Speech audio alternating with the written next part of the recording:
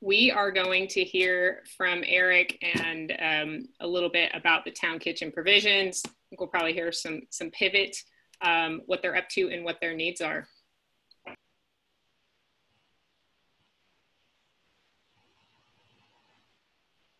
Excellent.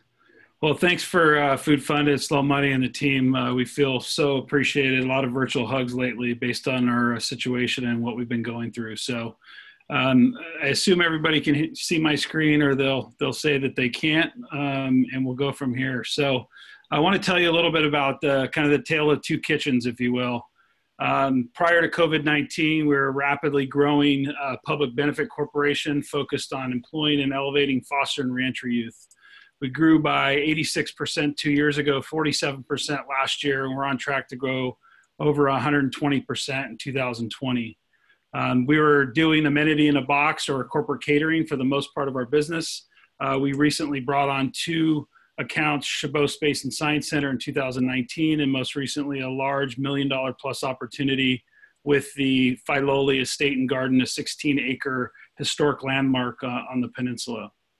COVID 19 hit and we had to pivot. Um, our basically within five days, we lost uh, about 250 to 300K in revenue uh, for the month on, on, a revenue basis over about four to five days. Um, you know, our core company is made up of what you see down here on the bottom. It's 48 hardworking hourly employees paying livable wages with a high percentage of women leaders in our organization, supporting 27 local artists and small businesses uh, with an overall makeup of uh, two thirds roughly female uh, to a third male uh, individuals in our organization. We pivoted because we couldn't let them down. We pivoted so that we could keep them working. We, we pivoted so that we could have hope and optimism uh, that we were not only going to survive this, but we were going to thrive through it. So, what's happened since we pivoted? Well, we launched TTK provisions in six days, uh, three and a half days if you count it from the day we actually mobilized as a company. We've had over 500 orders we've generated a, a avenue or excuse me a, a, revenue run rate of 800,000 in just over four weeks or roughly you know 20 20k a, a week. We're growing at 20% a week with 35% gross margins. And we've been able to continue to use our dna of helping elevate minority and women-owned food businesses in the local food ecosystem uh, using red bay coffee firebrand numi tea mariposa and others. What we're most proud of, of this is we've been able to use this online platform uh, to direct 8,600 plus dollars in donations to local food banks, the East Oakland Collective, and West Valley Community Services. What we know about our business moving forward, uh, what we do know about it is we have a three-year agreement with Filoli. We're at an 800 um, average run rate on the town kitchen provisions, and we just secured uh, work with the World Central Kitchens for the next two months.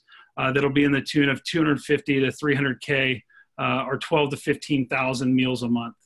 We have a four-year agreement with Sp- Chabot Space and Science Center, uh, roughly a six, roughly a, uh, excuse me, roughly six hundred thousand dollar opportunity. Uh, can I get the next slide, please? Somebody took away my share rights.